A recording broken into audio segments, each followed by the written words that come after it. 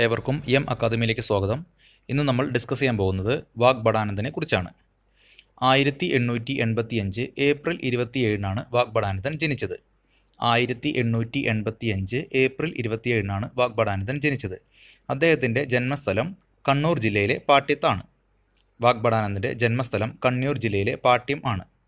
വാഗ്ബടാനന്ദന്റെ പിതാവ് കോരൻ ഗുരുക്കളും മാതാവ് ചീരുവമ്മയുമാണ്. വാഗ്ബടാനന്ദന്റെ പിതാവ് കോരൻ ഗുരുക്കളും മാതാവ് ചീരു അമ്മയുമാണ്.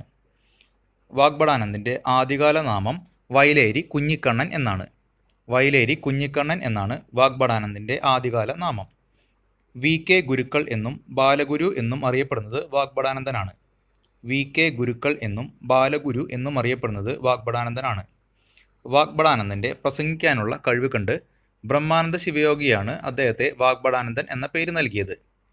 ബ്രഹ്മാനന്ദ ശിവയോഗിയാണ് അദ്ദേഹത്തിന് വാഗ്ബടാനന്ദൻ എന്ന പേര് നൽകിയത്. ഇപ്പം ഇത്രയും കാര്യങ്ങൾ നമുക്ക് ഒന്നുകൂടെ നോക്കാം. ആയിരത്തി എണ്ണൂറ്റി എൺപത്തി അഞ്ച് ഏപ്രിൽ ഇരുപത്തിയേഴിനാണ് വാഗ്ബടാനന്ദൻ ജനിച്ചത്. അദ്ദേഹം ജനിച്ചത് കണ്ണൂർ ജില്ലയിലെ പാട്യം എന്ന പ്രദേശത്താണ്. അദ്ദേഹത്തിന്റെ പിതാവ് കോരൻ ഗുരുക്കളും മാതാവ് ചീരുവമ്മയുമാണ്. അദ്ദേഹത്തിന്റെ ആദ്യകാല നാമം വയലേരി കുഞ്ഞിക്കണ്ണൻ എന്നാണ്. വി കെ ഗുരുക്കൾ എന്നും ബാലഗുരു എന്നും അറിയപ്പെടുന്നത് വാഗ്ബടാനന്ദനാണ് വാഗ്ബടാനന്ദൻ എന്ന പേര് നൽകിയത് ബ്രഹ്മാനന്ദ ശിവയോഗിയാണ്. ആയിരത്തി തൊള്ളായിരത്തി ആറിൽ കോഴിക്കോട് സ്ഥാപിച്ച സംസ്കൃത വിദ്യാലയമാണ് തത്വപ്രകാശിക. വാഗ്ബടാനന്ദൻ ആയിരത്തി തൊള്ളായിരത്തി ആറിൽ കോഴിക്കോട് സ്ഥാപിച്ച സംസ്കൃത വിദ്യാലയമാണ് തത്വപ്രകാശിക. ആയിരത്തി തൊള്ളായിരത്തി പതിനൊന്നിൽ കല്ലായിൽ രാജയോഗാനന്ദ കൗമുദി യോഗശാല സ്ഥാപിച്ചതും വാഗ്ബടാനന്ദനാണ് ആയിരത്തി തൊള്ളായിരത്തി പതിനൊന്നിൽ കല്ലായിൽ രാജയോഗാനന്ദ കൗമുദി യോഗശാല സ്ഥാപിച്ചതും വാഗ്ബടാനന്ദനാണ് അദ്ദേഹം ആയിരത്തി തൊള്ളായിരത്തി പതിനാലിൽ ശിവയോഗി വിലാസം മാസിക പ്രസിദ്ധീകരണം ആരംഭിച്ചു. ആയിരത്തി തൊള്ളായിരത്തി പതിനാലിലാണ് ശിവയോഗി വിലാസം മാസിക ആരംഭിച്ചത്. അദ്ദേഹം ആത്മവിദ്യാ സംഘം സ്ഥാപിച്ചത് ആയിരത്തി തൊള്ളായിരത്തി പതിനേഴിലാണ് വാഗ്ബടാനന്ദൻ ആത്മവിദ്യാ സംഘം സ്ഥാപിച്ചത് ആയിരത്തി തൊള്ളായിരത്തി പതിനേഴിലാണ് ഇത് ഒരുപാട് വട്ടം പി സി ചോദിച്ചിട്ടുള്ള ചോദ്യമാണത്. എല്ലാവരും ഒന്ന് ശ്രദ്ധിച്ചോളൂ. ആത്മവിദ്യാ സംഘം സ്ഥാപിച്ചത് ആയിരത്തി തൊള്ളായിരത്തി പതിനേഴിലാണ് ആത്മവിദ്യാ സംഘത്തിന്റെ മുഖപത്രമാണ് ആത്മവിദ്യാ കാഹളം. അതിന്റെ പ്രസിദ്ധീകരണം ആരംഭിച്ചത് ആയിരത്തി തൊള്ളായിരത്തി ഇരുപത്തി ഒൻപതിലാണ് ആത്മവിദ്യാ സംഘത്തിന്റെ പ്രസിദ്ധി മുഖപത്രമായ ആത്മവിദ്യാ കാഹളം ആരംഭിച്ചത് ആയിരത്തി തൊള്ളായിരത്തി ഇരുപത്തി ഒൻപതിലാണ് അഭിനവ കേരളം എന്ന മാസിക വാഗ്ബടാനന്ദൻ ആരംഭിച്ചത് ആയിരത്തി തൊള്ളായിരത്തി ഇരുപത്തി ഒന്നിലാണ് ആയിരത്തി തൊള്ളായിരത്തി ഇരുപത്തി ഒന്നിലാണ് അഭിനവ കേരളം എന്ന മാസിക വാഗ്ബടാനന്ദൻ ആരംഭിച്ചത്. വാഗ്ബടാനന്ദൻ ഗുരുവായൂർ സത്യാഗ്രഹികളെ അഭിസംബോധന ചെയ്ത വർഷമാണ് ആയിരത്തി തൊള്ളായിരത്തി മുപ്പത്തിരണ്ട് വാഗ്ബടാനന്ദൻ ഗുരുവായൂർ സത്യാഗ്രഹികളെ അഭിസംബോധന ചെയ്ത വർഷമാണ് ആയിരത്തി തൊള്ളായിരത്തി മുപ്പത്തിരണ്ട് വാഗ്ബടാനന്ദനെ ഏറെ സ്വാധീനിച്ച ദേശീയ നേതാവാണ് രാജാറാം മോഹൻ റോയ് രാജാറാം മോഹൻ റോയാണ് വാഗ്ബടാനന്ദനെ സ്വാധീനിച്ച ദേശീയ നേതാവ്. അപ്പോൾ ഇത്രയും കാര്യങ്ങൾ നമുക്ക് ഒന്നുകൂടെ നോക്കാം. ആയിരത്തി തൊള്ളായിരത്തി ആറിൽ കോഴിക്കോട് സ്ഥാപിച്ച സംസ്കൃത വിദ്യാലയമാണ് തത്വപ്രകാശിക. ആയിരത്തി തൊള്ളായിരത്തി പതിനൊന്നിൽ കല്ലായിൽ രാജയോഗാനന്ദ കൗമുദി യോഗശാല സ്ഥാപിച്ചു.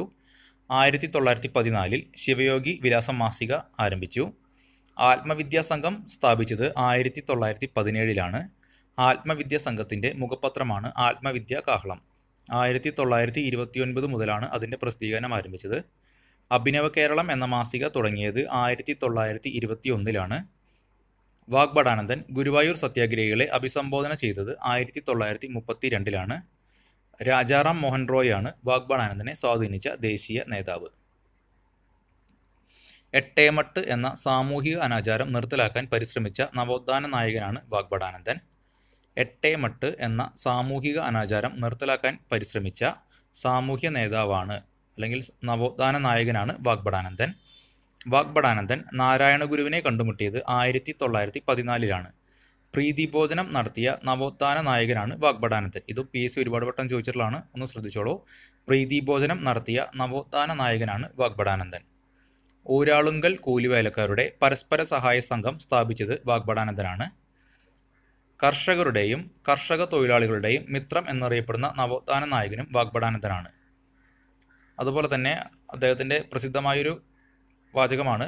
ഉണരുവിൻ അഖിലേശനെ സ്മരിപ്പിൻ ക്ഷണമെഴുന്നേൽപ്പിൻ അനീതിയോടെ തീർപ്പിൻ എന്ന് പറഞ്ഞതും വാഗ്ബടാനന്ദനാണ് അപ്പോൾ ഇത്രയും കാര്യങ്ങൾ നമുക്ക് ഒന്നുകൂടെ നോക്കാം.